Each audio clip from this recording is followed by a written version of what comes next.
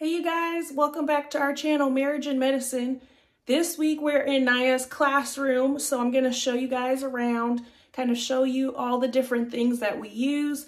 I'll even show you her curriculum and some supplies that you would need for that, but basically just give you an inside look at what her classroom looks like for us, kind of the things that we do day to day so that if you are interested in doing school with your child at home, maybe some of the things that I show you today can help you out. So you can see this is what Nya's classroom looks like. So she is two years old. She'll be three in March. And so all the things I got, I tried to get for a preschooler. So in preschool, they typically learn their colors, they're learning about shapes, um, they learn about the weather, their ABCs, their numbers, they might have a calendar time. So all of this stuff that I bought is basically geared towards a preschool age child as if she was going to school at a daycare somewhere. And all of this stuff I bought pretty much on Amazon, but I'll go through each piece and kind of show you things up close and let you know where you can buy it too. So the first space we have right here, I tried to make kind of like a little reading area for her. So we got this little chair off of Amazon. She loves unicorns. And then I also got this bookshelf off of Amazon too. It's really easy to, to build and put together.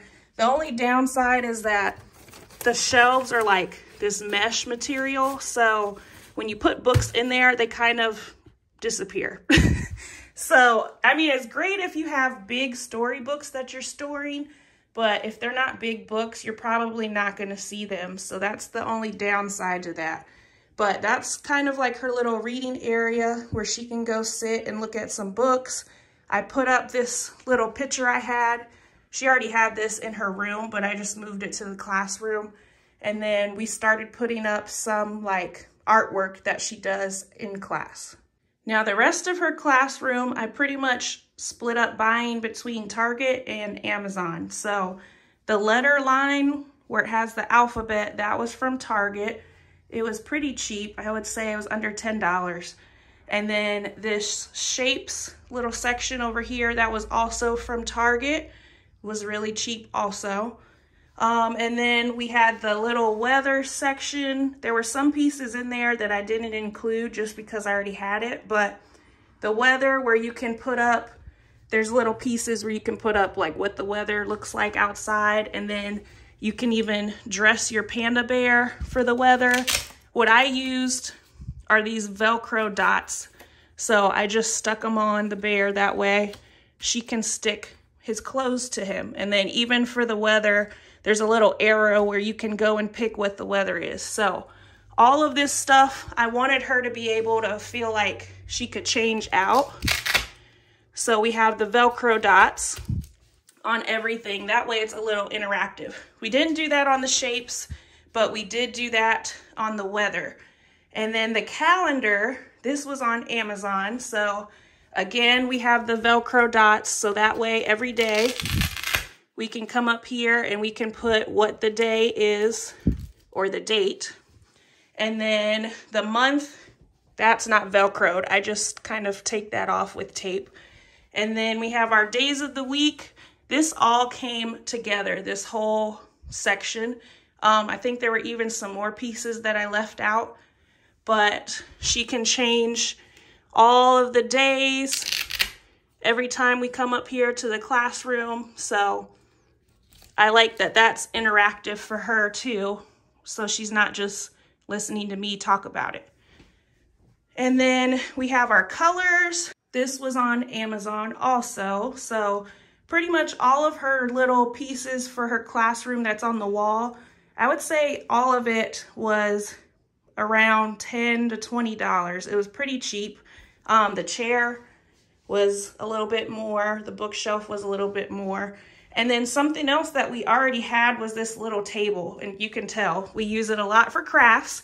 But the table does open up and on the other side of this table, it's a Lego, kind of like a Lego surface. So your child can build with Legos.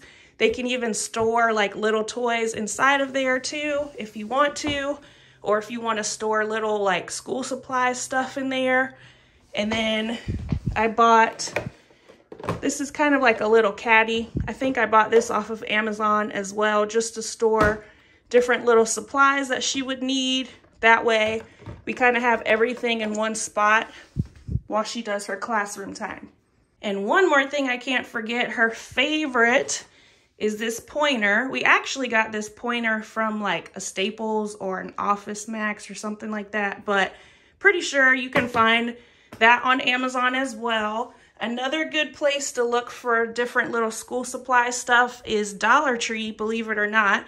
They have like a little section, I think it's called like a school's corner or something.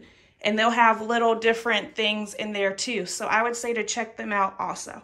Now when it comes to her supplies, this is just how I decided to store it. I already had one of these little things around.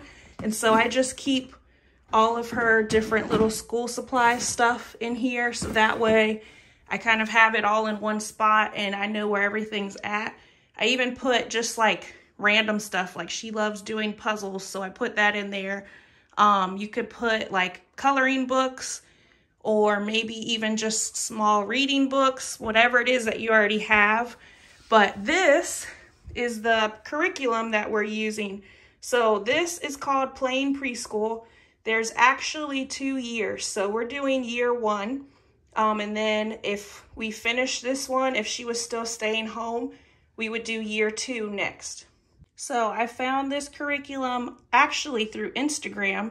There's a lady that I follow, and if you go on there to search for her, her name is Busy Toddler, just like on the cover of the book.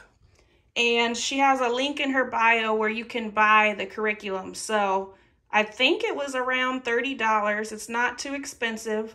And once you buy it, she sends you the curriculum as a digital file. So basically, you could just use your iPad and follow along with the curriculum that way. Or if you want to print it out, you can do that too. Um, I got mine turned into a book through, I believe the company was named Watson Family Press. And I also found them through Instagram too. They're like a printing company um, they work from out of their home. And so they printed out the book for me so that way I could kind of like check stuff off as we go. But definitely don't have to do that. I just felt like it was a lot easier for me to use. Okay, so this is what the inside of the curriculum looks like. So towards the beginning, she kind of just shows you how to read the curriculum, basically what each part means, um, why she put the things in here that she did, all of that stuff. So it's just a lot of information and explaining how things work basically at the beginning. And then all of the curriculum is broken up into units. So there's 19 units. Each unit is two weeks. So basically if you did like a Monday through Friday um, for two weeks, just like a regular school would. And I love that she puts the supplies that you're gonna need for the unit and then she also puts some books that you might need also. So the thing with the books is you don't have to get the exact books that she has listed. If you have them already, then that's great to use. Um, another good place to get them from is the library. But really you can just get books that's related to whatever your unit is about. So even if it's not these exact books, that's still perfectly fine to use. So for example, this unit is on Apple, so I usually go to the library and try to find these books, but if I can't find them, I try to just find any book that's related to apples. Um, so you'll basically, she has all your supplies that you're gonna need for the unit, the books, and then there's always a poem and a song that you're gonna do every day for your unit as well. And then she has the week broken down for you. So basically you can see every day kind of like a general idea of what you're going to do with your child. Um, she has it kind of written out in the order that it goes. And then she even takes it a step further and puts every single day like a little lesson plan for every day. And I like this because I used to be a teacher, and so this is exactly what I would do for my students also is having a lesson plan and it shows you the exact order that you're gonna do every single activity for the day. And then it'll show you week two. It'll basically do the same thing all over again where there's a chart. It'll show you kind of the week as a whole. And then it'll break down and show you every single thing that you're gonna do for each day. It does have the letters that you need for the little craft activity, um, but it will go and show you what you have to do on every day. So for example, like this is a name recognition activity and she will detail exactly what you need to do as the parent and then what your child is gonna do also. Sometimes she does put a picture to help, um, but a lot of this stuff, you don't have to feel like you have to do every single thing for every day. Um, I kind of base it on whatever Nya's interested in or whatever she might understand. So some of this stuff we do skip, like for example, making a freight train. If you just don't happen to have the materials for that or you just don't want to buy it, it's perfectly fine if you just skip that part of the curriculum for the day and just do the other parts. Um, so don't feel like you would have to do every single thing for every day. Um, I for the most part, a day, a lesson will take about, I would say 30 minutes, um, depending on what the activities are. At the most, I would say 45 minutes. That's including doing our calendar time. We do our days of the week. We do weather. Um, we do the little song and the poem like they, like they showed you at the unit. And then we start doing our lessons. So overall, I wouldn't say it takes more than an hour, um, but usually it takes us about 30 minutes. So if you don't decide to print out the actual curriculum, you are definitely gonna need to print out at least the letters. So if you don't do it from home, you can get stuff printed out, I believe, from like a FedEx or a UPS. I think even some public libraries let you print out stuff, but basically you're gonna need all the letters printed out because they're gonna use them to kind of make an alphabet book of different stuff.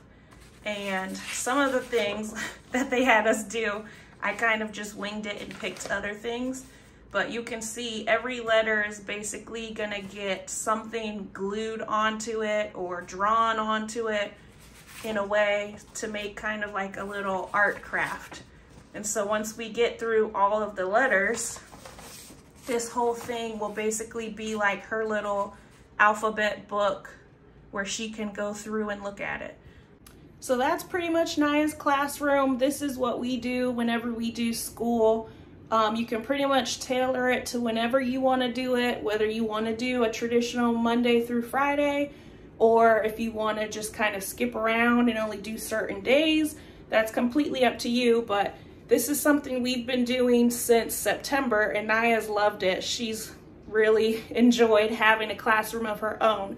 So if you have any questions, feel free to leave those in the comments and I can help you out with setting up a classroom of your own and we will see you in the next video.